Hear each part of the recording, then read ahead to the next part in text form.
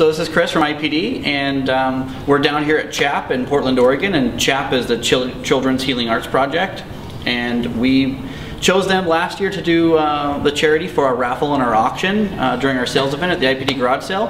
And right now we're working with them again for 2012. So here we are downtown in Portland with Carl me. and Roxy. And uh, yeah, Roxy, if you could tell us a little bit about the organization and how you guys got started and where we're at today, that would be Sure. fantastic. Um, so we are the Children's Healing Art Project. We uh, started about six years ago. Um, Frank, our founder, started volunteering up at Doernbecher um, and really saw that there was a huge need for arts programs um, in the hospitals. And so our mission is to bring the healing power of art to children and families in crisis. Um, up in Doernbecher uh, Children's Hospital, Schnitzer Diabetes Center, and Knight Cancer Institute. Great. Um, and we just bring an unlimited amount of art supplies and projects with a team of, team of mobile artists, mobile teaching artists, right? Well, like me. How? Um, and we take all of these programs to the hospitals and we work with the kids up there.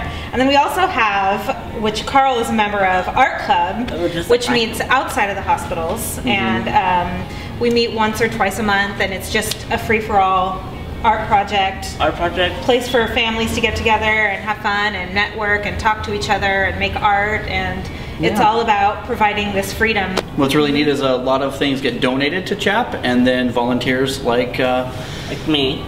yeah, like Carl basically decorate the pieces, and then they use those to raffle off and auction off and donate and raise money for the organization, which is an amazing cause. So we appreciate the fact that they're working with us this year. You'll see them at our IPD garage sale and in our follow-up video.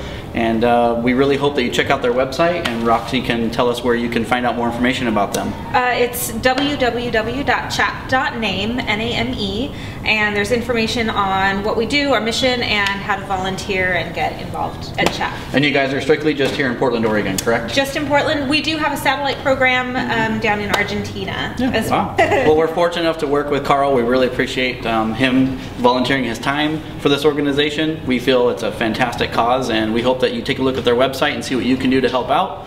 And for more information, visit their website, and we'll see you guys later after the garage show. We'll be doing a follow-up video with Chap, and you'll see them at our car show coming up May 19th. Hope to see you there. I'm May, I'm May 19. May 19th. We'll see you there.